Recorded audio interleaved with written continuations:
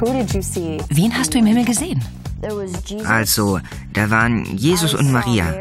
Wenn ich heute gefragt werde, wie viele Kinder ich habe, sage ich vier. Eines im Himmel und drei hier auf der Erde.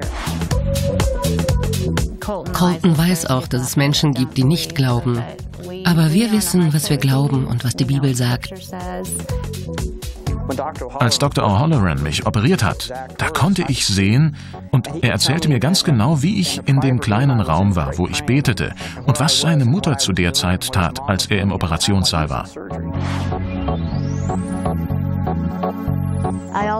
Ich habe auch meinen Urgroßvater gesehen und meine Schwester, die schon dort ist, weil sie bei der Fehlgeburt gestorben ist.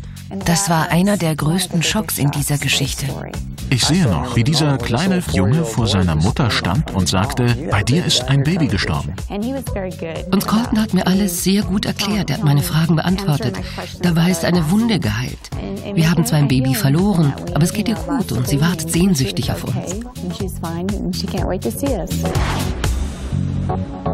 Ich habe nur Angst, dass meine Freunde oder Menschen, die ich kenne, nicht an den gleichen Ort kommen, an dem ich war. Manchmal werden wir gefragt, könnt ihr das erklären? Und die Antwort ist nein. Gottes Liebe ist schwer zu beschreiben, weil er uns so sehr liebt. Es ist irgendwie unbeschreiblich, wie sehr er uns liebt.